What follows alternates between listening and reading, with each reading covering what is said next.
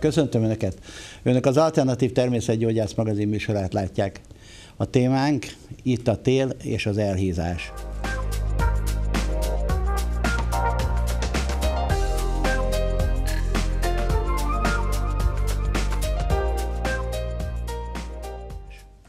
A vendégem a stúdióban Kozelkáni Nagy Zsuzsa természetgyógyász. Köszönöm, hogy elfogadtad a meghívásunkat. Én köszönöm a meghívást. Engedd meg, Zsuzsi, bemutatom megint a könyvet, úgyhogy továbbra ezen a napon is meg lehet nyerni ezt a könyvet. A, a kérdés az pedig az, hogy mennyit kell mozogni egy nap, majd a vendégem megválaszolja. Zsuzsi, mi okozza az elhízást? Mindig azt mondjuk, hogy a mozgáshiány, meg, meg esetleg a túlevés, de van ennek esetleg más oka is, vagy lehet másra is gyanakodni? Hát rengeteg okra lehet gyanakodni, no. de akkor célozzuk meg abból, hogy az őszi elhízásról, illetve a téli elhízásról van szó. Ugye mi egy olyan égövben lakunk, ahol automatikusan a téli időszakban viszonylag hideg van. Az emberi szervezet úgy van kitalálva, hogy a fűtésre mindenképpen tartalékolnia kell. Nekünk egy speciális helyzetünk van ezzel a magyar étkezéssel, ami alapjába véve egy viszonylag zsíros, tartalmas minőséget képvisel, csak a téli időszakban, mivel hogy lényegesen kevesebbet mozgunk, ugye viszonylag hamar besötétedik, az emberek ennek köszönhetően is mozognak kevesebbet. Azon kívül a téli időszakban nekünk olyan, olyan sátoros ünnepeink vannak, ami tulajdonképpen a nagy evészetről szól, amikor összeül a család egy évbe egyszer, és akkor azt úgy, úgy meg kell ünnepelni. Ennek köszönhetjük azt, hogy néhány kiló plusz ráugrik ilyenkor az emberre. Zsuzsi, mit takar a mozgás? Tehát kell-e mozogni, és akkor mindjárt legyen a kérdés, hogy mennyit kell mozogni egy nap? Hát én azt gondolom, hogy az ember minél többet mozog, annál jobb. Mindenképpen szükség van a mozgásra, leginkább azért Ez egy is. átlagos válasz volt, hogy annál jobb. Tehát valahogy határozzuk már meg, hogy mi legyen a Jó. helyes válasz. A helyes Ezt válasz az legyen mondjuk napi egy óra. Napi Jó? egy óra, és az lehet séta, bármi. Bármi. Nagyon jó, köszönöm, innen megyünk tovább. Tehát napi egy óra. Ö, igen, tehát a mozgás azért feltétlenül szükséges, mert az ember biokémiai működéséhez szükség van rá. Tehát azzal, hogy mi mozgunk, ezzel tulajdonképpen az anyagcserénket segítjük, hiszen hogyha ö, tempósabb mozgást végzünk, tehát nem feltétlenül sétálunk, hanem mondjuk tempósabban ö, gyalogolunk, vagy mondjuk kocogunk, vagy mondjuk bármi olyan aktív sportot végzünk, ami lehet labdajátéktól kezdve ö, konditeremig bármi. Ugye ilyenkor a szervezetnek van egy olyan működése, hogy lényegesen többet izzadunk, ennek az izzadásnak következtében gyorsan, gyorsabban vesszük a levegőt, ennek következtében felszaporodik a szervezetben az oxigén, ami feltétlenül szükséges egyrészt a normális ö, agyi működéshez, hiszen ugye alapfeltétele a megfelelő mennyiségű oxigén, illetve a sejteknek az optimális működéséhez. Igen, akkor itt tulajdonképpen a legnagyobb gond az, hogy keveset mozdulunk télen, és többet teszünk. Keveset mozgunk télen, többet teszünk, és minőségében más teszünk. Hát azért tegye mindenki a szívére a kezét a téli időszakban, mondjuk egy tartalmas töltött káposzta, vagy, vagy hát, ö, igen. valami zsírosabb étel sokkal jobban esik, mint mondjuk egy gyümölcsaláta vagy egy lecsó ha a nyári időszakot nézzük, akkor a nyári időszakban az embernek igénye nincs ezekre a zsírosabb, tartalmasabb ételekre, mert nem esik jól. Az most azt jelenti, hogy mondjuk egy kerti parti keretében nem süt az ember mondjuk egy, egy szalonnát, vagy nem főznek bográcsba egy gulyást, de ezek nem feltétlenül a, a mindennapi működéshez szükséges energiát szolgáltatják, ez inkább a társaság kedvéért alakult így. Jó. Milyen módszereket és mit tudsz ajánlani a, a kedves nézőknek, hogy hát ha már fölkaptak 5, 6, 7, 8, 10 kilót esetleg, hogy akkor mit tegyenek annak érdekében, hogy ez lejöjjön, vagy van erre valami jó módszer, amivel lehet segíteni? Hát minden szentnek maga felé, tehát a fülakupunktúra az egyik legjobb lehetőség, hiszen felgyorsítja az anyagcserét, a vegetatív idegrendszert kiegyensúlyozza, tehát ez egyik legjobb megoldás az én olvasatomban. Azon kívül én azt gondolom, hogy érdemes lenne átértékelni nem, a, nem az ételnek a, a fajtáját, hanem az alapanyagoknak a megváltoztatását. Tehát én most nem szeretnék itt ö, reklámot csinálni, de mindenki tudja, hogy például a sertészsírtól lényegesen egészségesebb zsírok is vannak, amivel ö, tulajdonképpen a kalória mennyiséget tudjuk úgy csökkenteni, az ízén, illetve az ételnek a jellegén ezek a zsiradékok például nem változtatnak.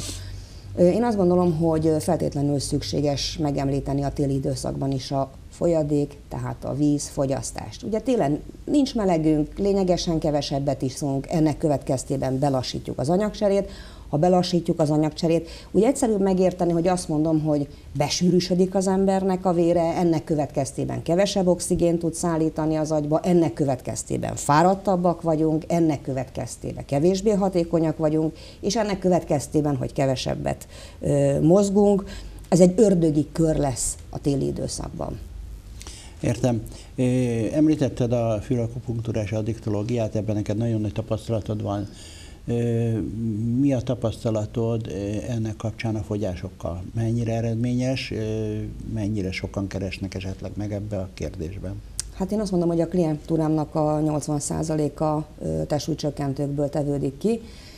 Én örömmel tapasztalom azt a részét a visszajelzésekből, hogy én még nem találkoztam olyan emberrel, akivel ne lett volna működőképes. Itt Igazság szerint azt gondolom, hogy tudomásul kell venni, hogy ahhoz, hogy az ember meg tudja ezt tartani, egy életmódváltásra van szüksége. Tehát nem lehet csodát várni úgy valamitől, hogy fülakupunktúrával leugrasztunk valakiről x kilót, és akkor ennek mértékében utána visszacsap a, a régi rend, és ugyanazt teszi, amit eddig evett, ugyanúgy működik, ahogy eddig működött, mert automatikusan vissza fogja hízni. A fülakupunktúra nem csak abban segít, hogy például az anyagcserét felgyorsítja, hanem a vegetatív idegrendszernek a kiegyensúlyozásáról is szól, ami azért roppant fontos, mert a téli időszakban lényegesen kevesebb a napos órák száma, ennek következtében hajlamosabbak vagyunk például a befelé forduláson kívül egy depresszióra, vagy egyéb olyan pszichés zavarokra, amihez alapvetően fényre lenne szükségünk. Zsuzsi, ez ezelőtt száz évvel is így volt. Akkor még nem volt televízió, nem volt olyan csatorna, ahol mit tudom én, lehetett volna bármit nézni. Az emberek keltek a idézőjelbe a kakassal, feküdtek le, a, mikor lement a nap. Akkor is elhíztak az emberek? Mit tudsz erről?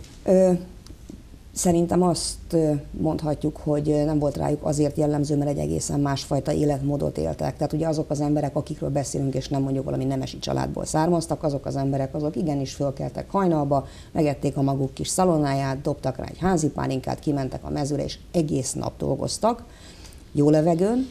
Lényegesen kevesebb adalékanyag jutott a az asztalukra, hiszen a maguk által termelt élelmiszert fogyasztották, és ráadásul még az is hozzátartozik az igazsághoz, hogy lényegesen kevesebb is, mint amennyit mi jelen pillanatban eszünk. Én azt gondolom, hogy az embereknek a legnagyobb problémája az, hogy a saját igényüktől lényegesen többet esznek. Uh-huh. Tehát ez a legnagyobb probléma, és nincs, nincs mozgás. Igen. Nincs is. mozgás. Mennyire befolyásolja a súlygyarapodást a víz, vízfogyasztás? Lényegesen befolyásolja, tehát ugye azt tudomásul kell venni, hogy a szervezet kétféleképpen tudja a felgyülemlett anyagokat kiválasztani, és ott háromféleképpen, az egyik az izzadás, a másik a vizelet, a harmadik a széklet. Na most abban az esetben, amikor az ember nem issza meg a maga alapmennyiségéhez szükséges folyadékot, akkor onnantól kezdve mi lenne az az anyag, vagy milyen, milyen módon lehetne még kivezetni a szervezetből ö, a számára nem szükséges ö, anyagokat?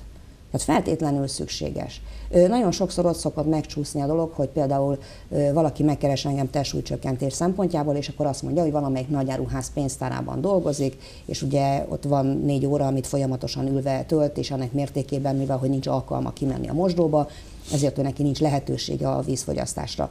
Nem is vállalom el.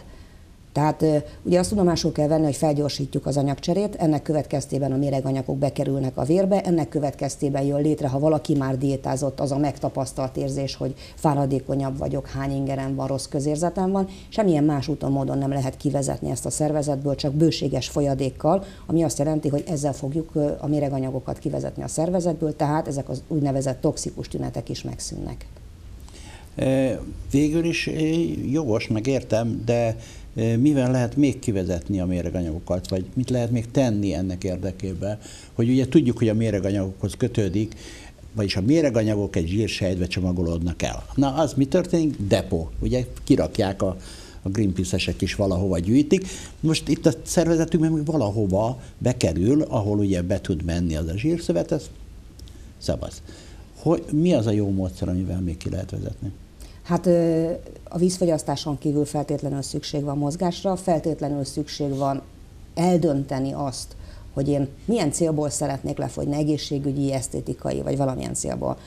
Ugye addig az időszakig, ameddig az ember nevezzük úgy, hogy fogyókurázik, vagy méregtelenít, addig hajlandó arra, hogy egy számára optimális táplálékot fogyasszon. A későbbiek folyamán nem értem, hogy miért kanyarodunk el, hiszen azt tapasztaljuk akkor, amikor valami nekünk való diétát elkezdünk, hogy lényegesen energikusabbak vagyunk, jobb a közérzetünk, látjuk magunkat sokkal esztétikusabbnak, és utána mi, mi ösztönzi az embert vajon arra, hogy ő visszakanyarodjon arra a fajta életmódra, amitől ő tulajdonképpen meghízott. Én azt gondolom, hogy hogy nincs elég kitartás az emberekben, tehát viszonylag lusták vagyunk, macerásnak vagy, vagy lényegesen drágábbnak érezzük ezeket a dolgokat, holott például kiszámítva egy, egy félbarna kenyeret, illetve egy rossz kenyeret. Lehet, hogy mondjuk a félbarna kenyérből egy kiló fogy el, egy négy tagú családnál napi szinten egy rossz kenyérből, ami ugyan duplájába kerül, két napig is elég egy kiló, tehát árában pont ugyanott vagyunk. Igen, e, ezt, ezt nagyon sok embertől már kérdeztem, tőled is megkérdezem. Mi a különbség a kettő kenyér között? Minőségi különbség van a kettő között. Tehát ezt ö, ö, én azt gondolom, hogy azt a részét kéne megérteni, hogy a félbarna kenyérnek a rost tartalma, illetve a tápértéke az egy nagyon minimális. Tehát tegyünk különbséget az étel, és tegyünk között a táplál, vagy különbséget a táplálék között. Az ételbe az a kategória tartozik, amikor gyorsan elszaladunk valamit, bekapunk, és ez pont nem az, amelyik éppen a, a sejtjeinket táplálná, hiszen mi azért eszünk, hogy energiához jussunk. Tehát az emberi szervezet az úgy működik, mint egy autó, attól függ, hogy mit tankolok bele, annak minőségében fogja leadni azt a kapacitást vagy, vagy időtartamot, amit tud. E, jó, rendben. Zsuzsi, foglaljuk össze az egészet akkor. Mik azok a módszerek, ugye itt felsorolt egy csomót, most tedd meg még egyszer, amivel tudunk segíteni, vagy te tudsz segíteni az embereknek a fogyásban. A filakupunktúra mindenképpen. Itt eh, nem csak a testsúlycsökkentést eh, említeném meg, hanem a különböző úgynevezett téli problémákat is, tehát eh, Ugye a téli időszakban nagyon sok olyan plusz bőrbetegség jön elő, ami a nyári időszakban nem jelentkezett, gondolok itt az ekcimára. Tehát ő is az a kategória, amelyik a fény hiányának következtében például a téli időszakban nem, nem a barátunk. Itt is nagyon sokat lehet javítani a fülakopunktúrának a vegetatív idegrendszeri oldásaival, illetve egy más típusú táplálkozással, illetve ezen kívül még nagyon sok olyan alternatív lehetőség van, amikor plusz fényhez lehet juttatni a szervezet, és itt, szervezetet itt gondolok például mondjuk a fényterápiára. Én azt gondolom, hogy nagyon-nagyon fontos az, hogy téli időszakban is mozogjunk. A a szervezetet nem megerőszakolva. Tehát az, hogy nekünk négy órakor már sötét van, és azzal, hogy fölkapcsoljuk a villant, és éjjel kettőkor még a tévét nézzük, és az internetet piszmogjuk, ezzel nem teszünk jót magunknak. Érted, milyen fényterápiát javasolnál te? Mindenképpen polarizált fényterápiát javasolnék, tehát erre azért vannak helyi készülékek, vagy akár nagyobb méretű készülékek is, ahova az egész testet be lehet fektetni, tehát ez például egy nagyon pozitív élettani hatással tud bírni.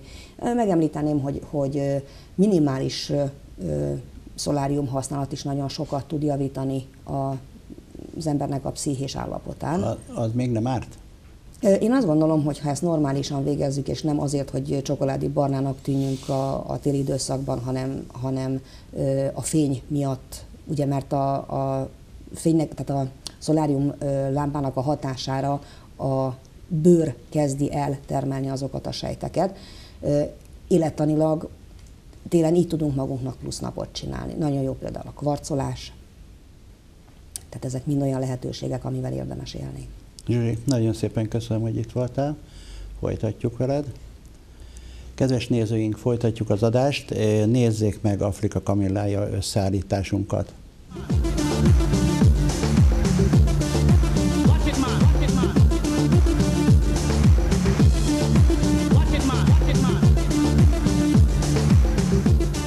Az indiai óceánban fekvő trópusi szigeten Zanzibáron egész évben nyár van. A szigetet még nem lepték el a turisták, az idegenforgalmi nagybefektetők. Szinte háborítatlan a növény és állatvilága, éppen ebben rejlik varázsa.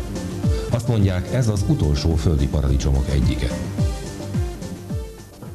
Én nagyon sokat hallottam a tafelimtea áldásos hatásairól, nagyon sok betegséget gyógyított meg, és olyan embereket gyógyított meg, akikről az orvosok tulajdonképpen már lemondtak. Ön hogyan került kapcsolatba vele?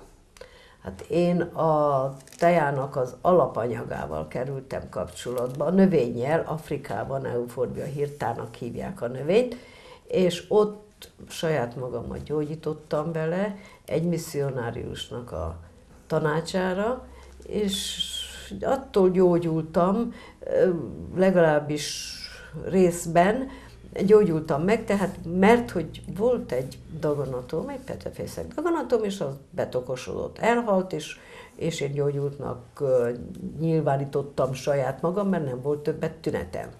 A végén aztán azért ezt ki kellett operálni, de akkor már egy elhalt valami volt, úgyhogy az operáció rutin operáció volt. Gomlón éltünk, és a feleségem egyszer jött haza, hogy, hogy van nekünk egy, egy teja, amit Afrikából az ő testvére küldött, és oda kellene adni egy gyereknek, aki egy agydaganatos gyerek, és már lemondtak róla az orvosok, operálni nem lehet, mert olyan helyen van ez a daganat, hogy nem vállalták az operációt, és próbáljuk meg, adjuk oda, addig, addig csak hallottam róla, hogy valami eh, gyógyító hatása van. Tényleg odaadtuk egy adag ilyen tafedim. Akkor még nem tafedim, hanem nem volt termék, hanem euforbia hírtát. Ennek a kisgyerek szüleinek, majd két hét múlva, mikor jöttek, akkor mutatták, hogy a gyerek, aki azelőtt így felkajlított fejjel volt, járni nem tudott, ez most már ki, egyenesedik ki a feje, és megpróbál járni. Na ez a gyerek hosszú időn keresztül itta ezt a teját, és végül eljutott oda, hogy iskolába járt, biciklizett, és élte az életét úgy, mint más normális gyerek. Ekkor kezdtem hinni azt, hogy tényleg a gyógynövények is érnek valamit, hiszen maguk még nem tudják, de a mi iskola időnkben az volt a szokás, hogy az mind kuruzslás, ami gyógynövény, hanem a gyógyszer az az igazi. Én itt meggyőződtem róla, hogy ez nem így van, és azóta figyelem kísérem, figyelemmel kísérem ennek a tejának az útját Magyarországon, ami most már gyógynövényként lehet kapni gyógyszertárba, gyógynövényboltba, Tafedim néven. Az euforbia hirtát az afrikai benszülöttek ősidők óta használják a legkülönbözőbb betegségek gyógyítására. Így egyebek között gyomor- és bélrendszeri problémák, légzőszervi rendellenességek, valamint bőr- és szembajok kezelésére. Valamitől elfertőződött a szemem, és sehogy nem akart rendbe jönni. Pedig még kórházban is kezeltek. A nagyapám javaslatára ennek a növénynek a tejnedvét kentem a szememre, és három nap múlva már semmi bajom nem volt. Úgy tudom, a szigeten ugyanígy gyógyítanak még vágásokat, csípéseket és egyéb bőrbetegségeket. 12 éves koromban volt egy gombás bőrbetegségem. Sokat killottam vele, míg végül egy rokonom a kezembe adta ezt a növényt. Megőröltem, összekevertem vízzel, és az így kapott péppel három hónapig kenegettem a bőröm. Eközben ittam a növényből készült teát is, és teljesen meggyógyultam. Mészájseben volt. Na, ez tényleg csodálatos. Most is, ha belegondolok, ez nagyon jó. Mészájseben volt, és leégették. Aztán mentem három hónap múlva ellenőrzésre, és a mészájsebemet újra leégették. És azt mondta az orvos, ha harmadszor is megyek mészájsebbel, akkor műteni kell, mert itt már bajok vannak. És ki lehetett tapintani azt a mészájsebet, és én kitapintottam, és éreztem, hogy ott van megint. És szomorú voltam. Vettem ennek a tea anyagának a krémjét, és egyszerűen beecseteltem, bekentem vele a mészársebemet. A mészársebem eltűnt, és soha többet nem jött vissza. Ettől a krémtől, mert egyebet nem csináltam, csak ezt. Tehát ez csodálatos dolog volt az én részemre, nagyon csodálatos volt. Én gondolom, hogy, mert különben nem kell félni attól, hogy valami problémát okoz, hogy, hogy, hogy árthat az embernek, vagy használ, vagy legfeljebb nem használ. Ennek a növénynek a, a, a teja formája, ami forgalomban van, és amit az emberek használnak, bizonyítja is utána, hogy, hogy, hogy nem hiába lett belőle tényleg egy gyógytermék, egy gyógyhatású készítmény, mert valóban a növény, amit csak tud, azt tudja, és azt gyógyítja. Az emberek általában megveszik, mert rá van írva a tejának a dobozára, hogy gyógyhatású készítmény, és aztán rájönnek, hogy közben meggyógyultak ebből is, abból is, abból is, én ebből a visz, és kapok visszajelzéseket, ezekből a visszajelzésekből néhányat én most itt helyben mindjárt be is olvasnék, mert, mert tényleg sok irányú az olyan visszajelzés, ami mellékhatásként, pozitív hatásként került tudomására ennek, annak különböző személyeknek, és ezt nekem visszamondták. K. Zsigmond visszajelezte, hogy a unokájának négy évig tartó hasmenése volt, de olyan, hogy nem tudták igazán meggyógyítani belőle, és ettől a teától szépen túlesett. Nem, már többet nincs hasmenése, nagyon kellemetlen dolog, mert, mert ugye ott utazni nem lehet meg sehogy, de meggyógyul, de ilyen szintén több is van, nem csak ez az egy. Nagyon köhögött és nagyon fájt a háta, olyannyira, hogy ilyen erős fájdalomcsillapítókat szedett, aztán elkezdett tejázni, és négy nap múlva azt mondja, utána már többet nem köhögött. Persze biztos, hogy megivott legalább öt a forrázatát, majd megevett még vagy kettőt, de elmúlt neki. A nap égetések esetén a krémmel bekenni az égetett felületet, ami, ami néha még sebes is lesz, és, és akkor az is elmúlik. Na, ilyenfajta visszajelzésem is van. Vírus szaporodás gátló. A herpes az egy vírus okozta betegség. És a herpes is a krémmel, e, géllel vagy balzsammal, mindegy, de elmúlik. Valamikinek a gyomra attól ment tönkre, hogy nagyon sok antibiotikumot szedett és az is nehezen tudott helyrejönni. Ettől a teától azt mondja két nap. Hát lehet, hogy nem két nap, hanem három nap, vagy négy nap, de nem kell sok idő, és tényleg azt is helyrehozza. Familiánk ősidők óta ismeri az euforbia hírtát. Egyszer járt nálam egy falusi férfi, akinek fájt a gyomra, véres volt a széklete. A mongorókából megívott naponta három csészével és két hét alatt helyrejött. Nigériában az egyik törzsfőnök négy éves kisfia kapkodta a levegőt, súlyos légzési zavarai voltak. Isteni jelre szintén az euforbia hírtát itattam vele három hónapig. A fiú tüdeje kitisztult, a törzsfőnök hálából nekem ajándékozta ünnepi ruháját. A növény főzetének hasznát vették máj és torokrákosok is, igaz ők sokkal nagyobb dózisban itták a teját. Ugye minden férfi egy itt bizonyos időkoron túl, vannak prostata gondjai, és tehát háromfajta ember van, akinek volt, akinek van, akinek lesz ilyen gondjai, és én saját magamon is tapasztaltam azt, hogy miután ilyen gondjaim kezdtek lenni, ezt a teját, ha iszom, akkor normálisan tudok vizelni, és nincsenek ilyen gondjaim. De van a krém és a balzsam, ami egy csodálatos dolog, az ember elvágja a kezét, nem is hinné, fertőtlenít, utána bekenélvel a krémmel, és másnap már szinte be van gyógyulva, vagy vékony heg van, de két-három nap után teljesen begyógyult a seb.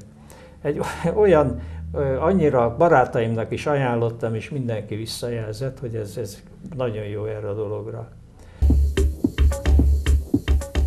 Az afrikaiak égi adománya persze nem csodaszer.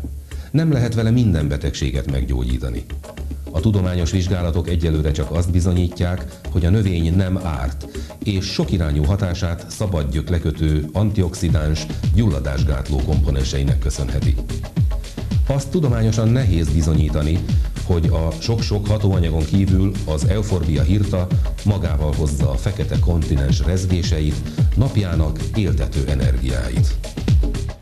A kockázatokról és a mellékhatásokról olvassa el a betegtájékoztatót, vagy kérdezze meg kezelőorvosát gyógyszerészét. Önök az Alternatív Természetgyógyász magazin műsorát látták. Köszönöm megtisztelő figyelmüket a kollégáim nevébe, és egy hét múlva jelentkezünk viszontlátásra.